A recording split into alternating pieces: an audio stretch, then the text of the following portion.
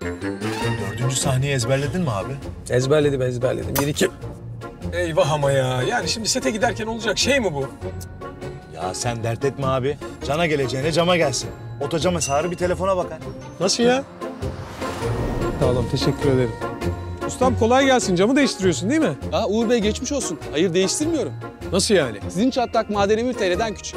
Böyle durumlarda biz önce tamir diyoruz. İlk defa duyuyorum. Sağlam oluyor mu peki? Tabii ki ömür boyu garanti sunuyoruz Uğur Bey. Muazzam bir şey değil mi abi? Vallahi muazzam. Vay be abi. Yerini bilmesem inan fark etmem bile. Vallahi öyle ciğerim ya. Baksana camımız da orijinal kaldı ha. Carglass onarır, Carglass yeniler.